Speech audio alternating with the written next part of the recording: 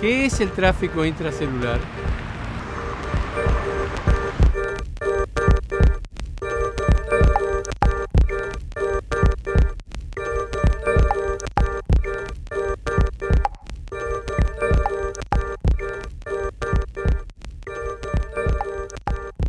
Nosotros comparamos en este caso el movimiento de macromoléculas dentro de la célula por el movimiento en una gran ciudad.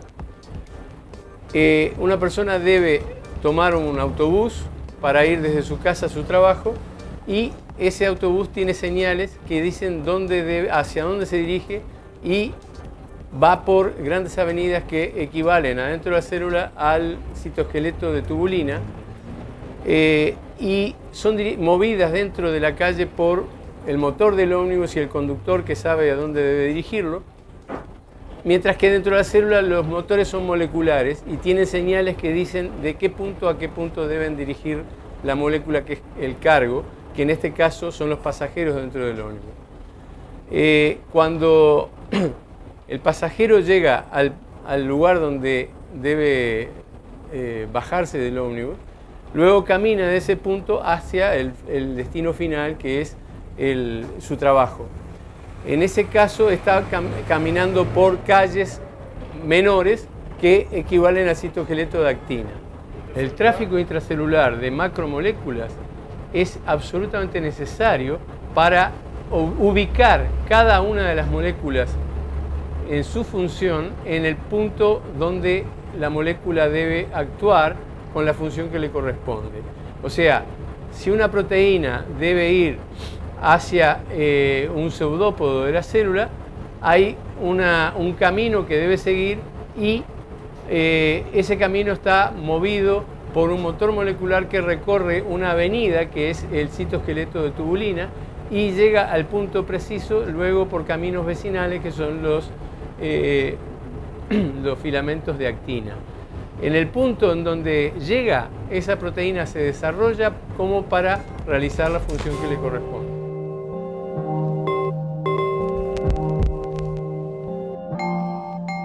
En el año 1950, dos años después de haber nacido yo, don Clemente Estable puso la piedra fundamental de este edificio, eh, que él evidentemente consideraba una especie de templo. Ustedes ven que tiene una estructura parecida a un monasterio, donde dedicó su vida a la investigación en biología. Eh, fue la persona que generó el full time o la dedicación total en los investigadores y fue el primer investigador biológico profesional del, Uruguay. En este instituto que nos legó don Clemente Estable, trabajo hace 30 años en lo que comenzó siendo el Departamento de Biofísica y en el momento actual es el Departamento de Proteínas y Ácidos Nucleicos y he dedicado esos 30 años a entender la fisiología y el metabolismo de los axones.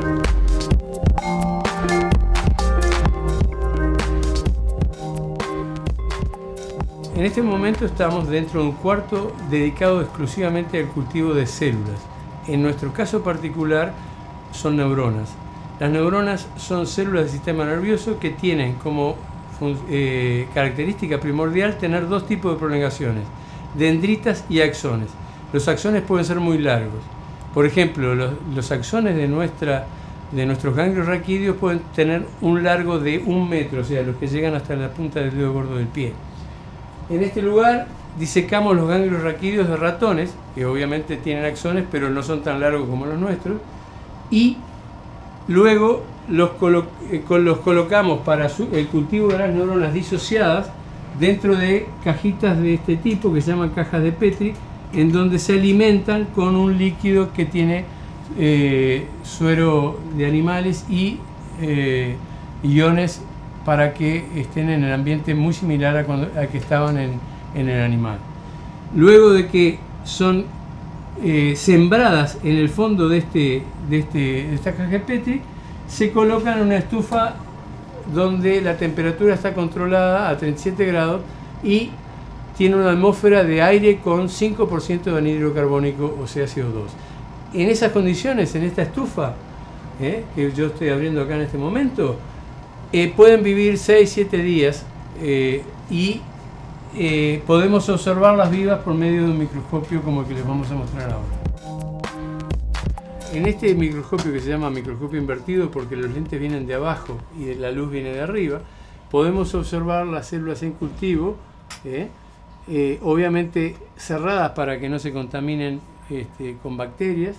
El objetivo de verlas vivas es poder experimentar con ellas en condiciones este, eh, metabólicas diferentes, por ejemplo, deteniendo el transporte exoplásmico y ver qué sucede con las prolongaciones axonales. Este es el laboratorio de bioquímica donde realizamos el análisis de la separación perdón, de las proteínas y de los ácidos nucleicos para su posterior análisis. En aquel momento ustedes ven allá eh, que están disecando los ratoncitos para obtener los ganglios que luego van a ser cultivados en el cuarto de cultivo. Y acá tenemos un esquema de cómo son las neuronas que obtenemos eh, eh, después de los cultivos. Esto es una neurona de los ganglios raquídeos, un esquema obviamente, donde se ve el soma de la neurona, estas prolongaciones cortas se llaman dendritas y esta prolongación larga, que está esquematizada obviamente, con un corte transversal, es lo que se llama axón y tiene una célula que lo va rodeando alrededor que forma una estructura llamada mielina y esa célula se llama célula de Schwann, que tiene su núcleo en esta zona y está en contacto íntimo con el axón. El leitmotiv de nuestra investigación está en el hecho de que las proteínas que vienen hacia los axones son transportadas del soma neuronal por una molécula específica que se llama quinesina, que viaja, ya van a ver el modelo de, que se ha hecho de cómo viaja, por los filamentos de los microtúbulos a lo largo de todos los axones. En un animal como yo, de la especie humana, ese, axón puede tener una longitud de hasta un metro o más de un metro.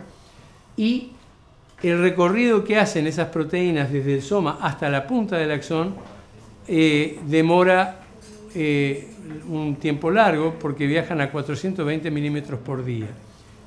Eh, los, microfilamentos, microtúbulos, perdón, que no están representados acá porque es un esquema a, a menor escala, van por el centro del axón y transportan las vesículas que llevan las proteínas que van hasta la punta del axón.